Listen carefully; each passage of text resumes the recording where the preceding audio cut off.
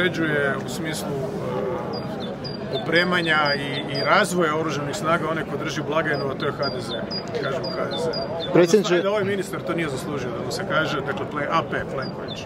To je to. U tom smislu, dakle, ne može načelnik glavnog stožera niti jest odlučivati hoće li, ne znam, milijarde i pol eura otići za nekakve avione ili ćemo za taj novac, dok se još moglo, sad se ne može, jer nema robe. Nema. Dakle, Zapad je potrošio sve. Nema. Sad gledamo kako nas Rusi ono šiju u svakom aspektu proizvodnje. Prilično ponižavajuće. A dok se moglo, mogli smo odlučiti da kupimo, ne znam, toliko i toliko protuzračnih sustava, to je zlato, toliko i toliko oklopa, dronova, raketnih sustava, to je bolje za obranu. Vlada se odlučila za avione, ok, ja sam to podržao i to sad imamo. Ne možemo imati jedno i drugo. Sad je pitanje šta je važnije od toga. Mnogi misle da je ovo drugo važnije i da se na taj način zemlja bolje i efikasnije brani u slučaju nekog sukoba koji za sada ne vidimo, a ima onih koji su za paradu. Ovim ne podcjenjujem pilote. Oni rade, oni rade ono što im se naredi i to rade dobro i profesionalno. Ali odluku, pitali ste me šta može načelnik. Može držati disciplinu, čast, dostojanstvo, odgovornost, to može. Biti uzor. To očekujem od njega. Zbog svega ovoga što ste govorili o soji, je li realnije da izbor čelnog čovjeka bude nakon izbora ili sad u izbornoj Ja kampanji? sam rekao sve. Svaki dete.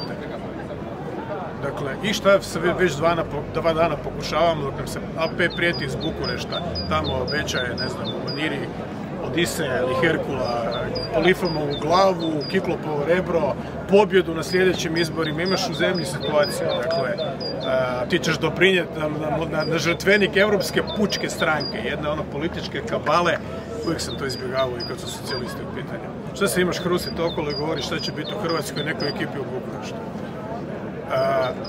Ne javlja se, gospodin se ne javlja. To je to, dakle. Mi smo za Markića, u stvari, tako mu nepravdu čine i tako ga umlačuju. To je tako kvarno. Nisam ništa odbio, ali da mogu preći preko propusta koji su se dogodili u Farsi Turudić, ne mogu i neću. Analiza ta još nije Nemoguće napravljena. Dakle, nemoguće je da agencija ima takve podatke, oni su stvarni. To nije rekla kazala majke mi, to je stvarno. To su operativni podaci prikupljeni sa sudskim nalogom. To je jako relevantno. Kakve su procedure u agenciji?